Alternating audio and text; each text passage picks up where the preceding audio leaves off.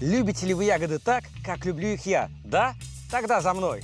Прямо сейчас лучший гид России, знаток грибных мест и ягодных месторождений Дмитрий Тихомиров пройдет по заповедным тропам Черноземья и Кавказских гор, раскроет тайну происхождения домашней сливы, найдет самых интересных представителей этого рода и покажет кусты легендарного терна. Через тернии к звездам. Это ведь про наш терн. Пока через эти кусты проберешься, забудешь, куда и зачем идешь. Смотрите большое ботаническое путешествие. Слива и ее родичи в цикле «Дикая ягода».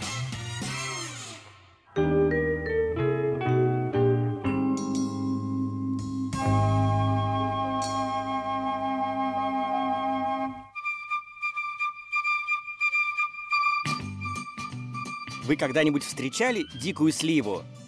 Именно за ней я отправлюсь в путь. Сейчас, в мае, еще не созрела ни одна ягодка. Но воздух насыщен ароматом цветущих деревьев и кустарников. Начнем мы наше путешествие в Липецкой области, в заповеднике Галичья гора. Люди в этих краях появились более 20 тысяч лет назад. Это было время последнего великого оледенения – Тогда здесь бродили стада мамонтов, шерстистых носорогов и бизонов. А когда ледник около 10 тысяч лет назад отступил, здесь начала возникать уникальная почва – чернозем. Говорят, воткни в него палку, и она будет расти. Я специально приехал в начале мая в Липецкую область, в заповедник Галича гора, чтобы просто попасть в сезон цветения терновника – Терновник или терн – первая дикая слива в нашей коллекции. Он принадлежит к огромному роду, который по латыни называется прунус. На русский это так и переводится – слива. Если продолжить лингвистические изыскания, то само слово «слива» тоже переводится на современный русский. С древнего прославянского и значит «синяя». Настоящая слива имеет именно такой цвет. А вот название цветущего кустарника – терн – в прославянском языке значило попросту «колючка».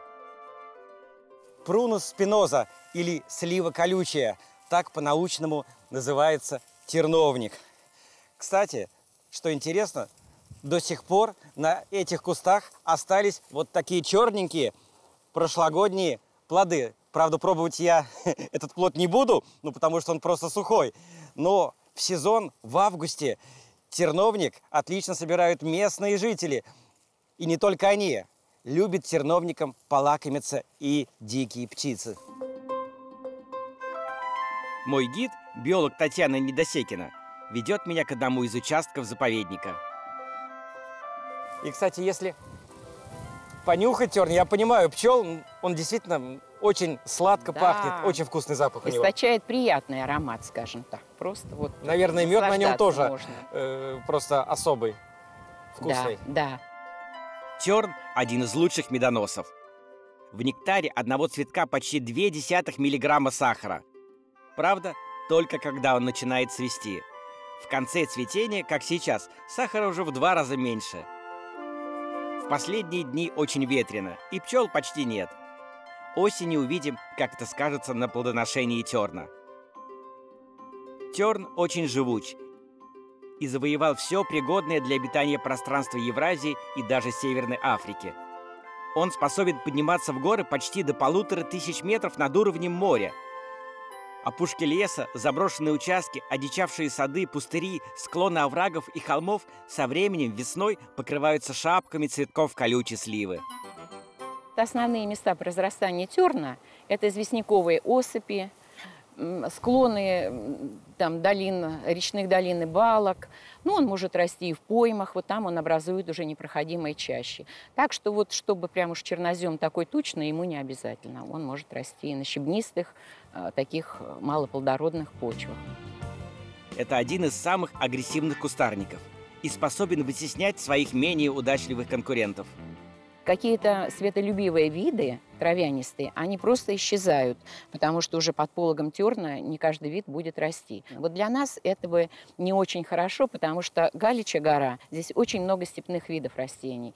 Здесь и ковыль, и ветреница, и рябчик русский. Это такое уникальное место. Да, уникальное место, где здесь около, да, здесь около 30 э, видов редких, э, редких растений. И вот уже за последнее время, когда установили абсолютно заповедный режим, Галича гора стала интенсивно зарастать древесно-кустарниковыми видами.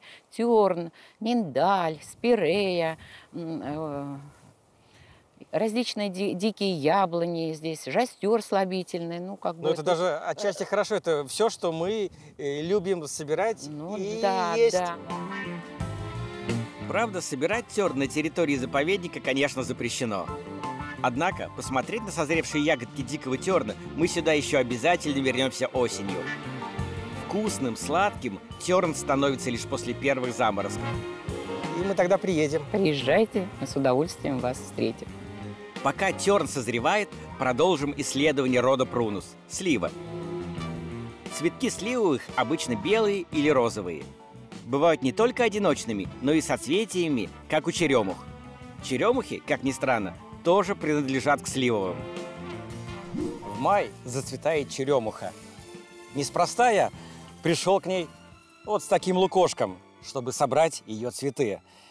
На самом деле, в народной медицине ценятся не только плоды черемухи, но и ее соцветия. Их можно засушить, сделать на них настойку. Кстати, настойка на цветах черемухи не только полезна, но и вкусна. И главное, помогает при простуде.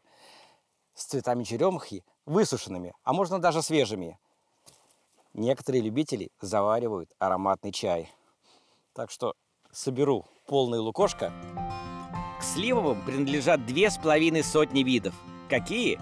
Вы удивитесь, но с точки зрения ботаники сливовые – это и вишня, и персик, и абрикос, и миндаль, и черешня.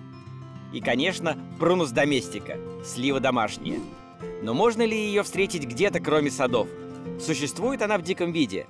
Это нам еще предстоит выяснить. Пока я ее не встречал, но здесь есть ее родственники – а вот это растение с красивыми розовыми цветками на самом деле родственник сливы, и это дикий миндаль.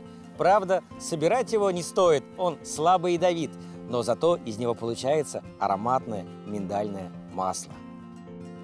И цветки миндаля тоже очень ароматные. Здесь, в Галичьей горе и окрестностях, миндаль невелик ростом. Миндаль степной может достигать высоты до полутора метров – и такой же ширины. Кусты получаются просто роскошные. Услышишь слово «миндаль» и сразу представляешь себе вкусные орешки. Но, увы, этот миндаль, его еще называют бобовник, несъедобен. И существует множество растений, способных обмануть человека своим названием. За одним таким мы отправляемся на юг, в Краснодарский край. Вот эти места в заповеднике Утриш называются можжевелово-фисташковое редколесье. Правда, Редколесье тут относительное. Заросли те еще, пробираться приходится. Привел меня сюда поиск другого дикого ореха-обманщика – фисташки.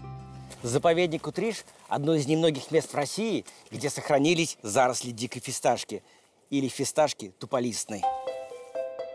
Фисташка предпочитает почвы, богатые кальцием, который она активно усваивает, и здесь, в горах, она благоденствует. Корни дикой фисташки уходят вглубь на 20 метров, пробивая скальную породу. Но съедобна ли фисташка туполистная? Это я и хочу проверить.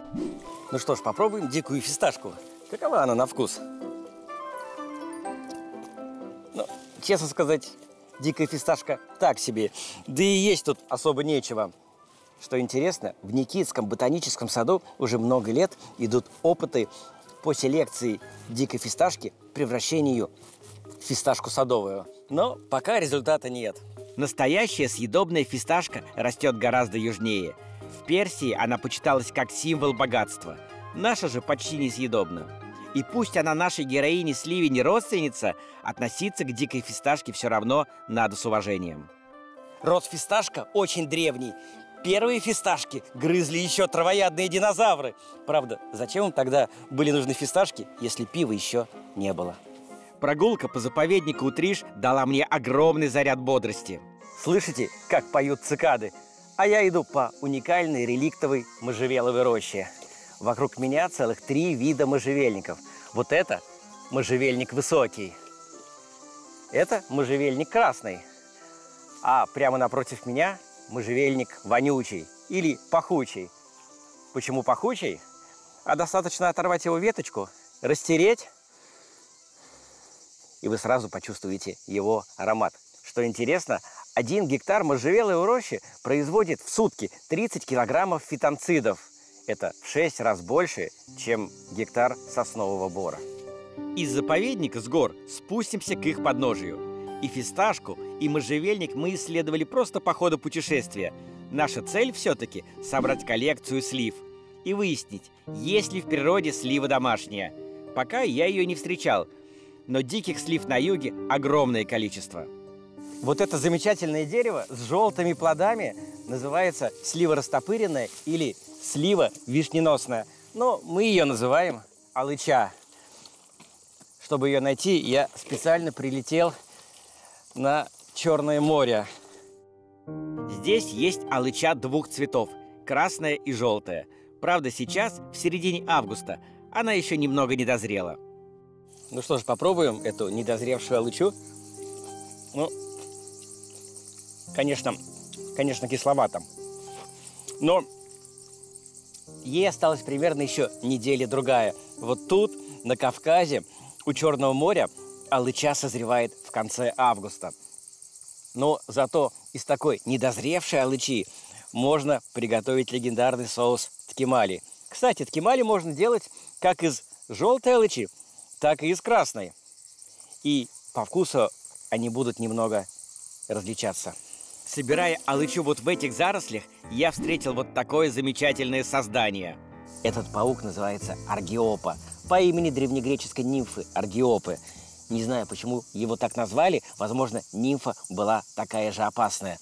Паук этот, кстати, ядовит, поэтому, когда собираете сливу или алычу, будьте осторожны, смотрите под ноги, на траву можно не заметить и вот э, врезаться в такое существо, которое, если разозлиться, может укусить, но не смертельно. Пауки, плетущие паутину, создания очень древние. Они появились еще в меловом периоде. Кстати, тогда же возникли и цветковые растения. Они победили представителей еще более древней группы растений – голосеменных в жесткой конкурентной борьбе благодаря появлению цветка. Об этом уникальном изобретении эволюции мы уже рассказывали в нашем цикле. Цветковые сейчас господствуют на планете. Но и сами они борются друг с другом за выживание. А вот это наглядный пример конкурентной борьбы двух видов. Терна, вот его синие плоды, и одичавшего винограда – кто из них победит в этой борьбе, неизвестно. Терн на юге встречается так же часто, как и в Черноземье. Но высокая конкуренция со стороны местных видов не дает ему захватывать вокруг себя все пространство. Итак, мы уже встретились и с Терном, и с Алычой. Наконец-то пришла пора разобраться с нашей домашней сливой. Откуда взялась она? Ее мы не видели в диком состоянии ни в Черноземье, ни здесь, на юге. Где же ее искать? только в садах. Такого деревца в дикой природе просто нет. Точнее, не существовало. Зато растения, которые мы видели, ее родители. Терн и алыча – это папа и мама нашей домашней сливы. Слива – полностью рукотворное создание. Она создана человеком, скрестившим два диких вида. Слева от меня растет терн. В лукошке у меня желтый плоды алычи. Собрал неподалеку. А справа слива. Возможно, вот так и выглядели первые ягоды домашней сливы, гибриды терна и алычи. Смотрите далее. Легендарный куст созрел. У англичан есть легенда. В терновнике живет паренек по имени Ласковый Любовник. Сливовый рецепт.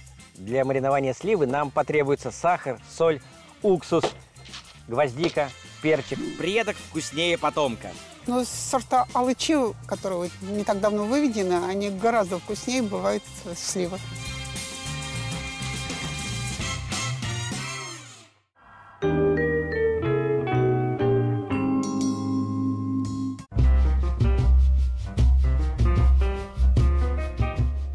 Пока мы путешествовали и собирали дикие ягоды на юге, терн в заповеднике Галича гора почти созрел. Так что вернемся в Липецкую область, Встретил меня инспектор заповедника Иван Красюк. В этом году, конечно, или, может быть, действительно климат, эта жара, Жара. очень повлияла. По сравнению с прошлым годом, с позапрошлым годом, где-то, может быть, увидите, там две-три ягодки нету. Вот одна висит, Ага. вот она одна, Синяя, да? синенькая, вот эта ягодка, и все. Мне вспомнилась весна и цветущие кустарники. Скорее всего, завязаться плодам помешала ветреная погода. Не всякое путешествие, к сожалению, заканчивается полной корзинкой. Но даже если бы терн уродился, собирать его здесь нельзя. Территория заповедная, так что отъедем от заповедника на несколько километров. Терн вокруг растет в изобилии. Через тернии к звездам. Это ведь про наш терн. Пока через эти кусты проберешься, забудешь, куда и зачем идешь. Кстати, в древние времена колючки терна использовали для борьбы с вурдалаками и прочей нечистой силой.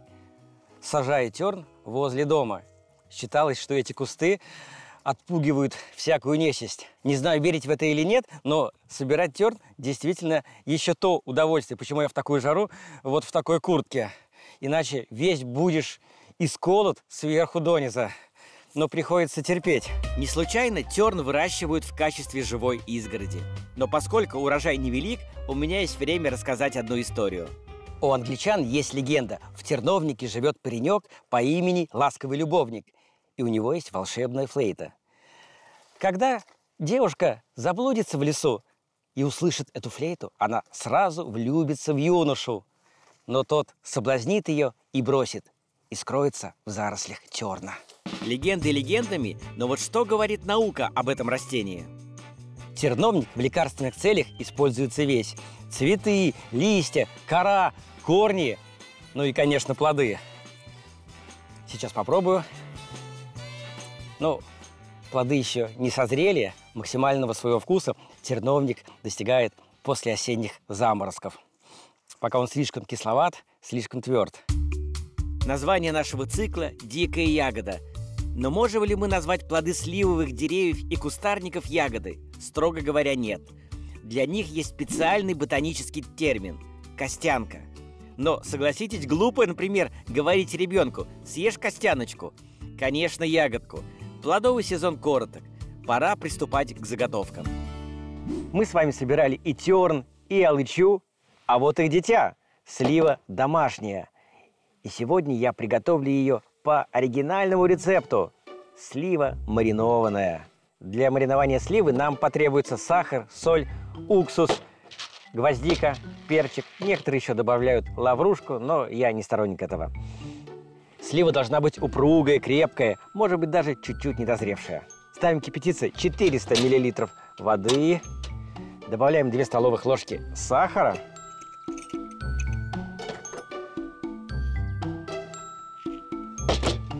и столовую ложку соли. И 2 столовые ложки уксуса.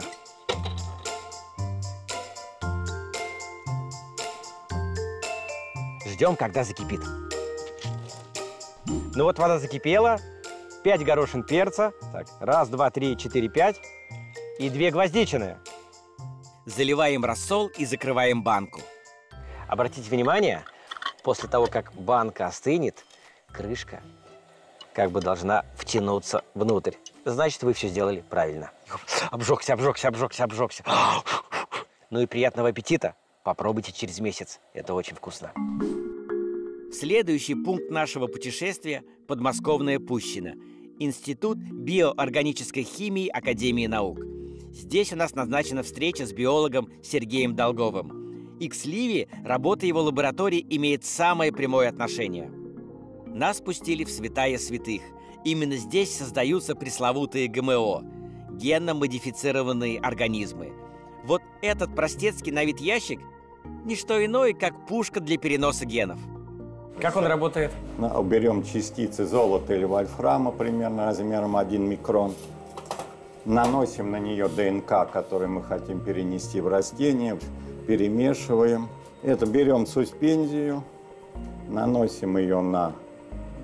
Сеточку вот сюда. Препарат помещается в камеру. Там создается разреженная атмосфера. Затем подается сжатый гелий. И под давлением этого сжатого гелия эти частицы золота или вольфрама летят с большой скоростью, попадают в ткани, пробивают эти ткани, и вот эта ДНК, которую мы на этих частицах а, вот, абсорбировали, она встраивается в геном растения. Вот это способно сделать вот это Да, устройство, да, хотя да. выглядит оно достаточно Да, просто. Да. По- Выглядит тут ничего сложного, тут что, должна быть стерильность, вакуум и определенное давление. А затем уже задача вырастить полученные образцы в специальной среде. А многие люди думают, что э, генная модификация опасна для человека.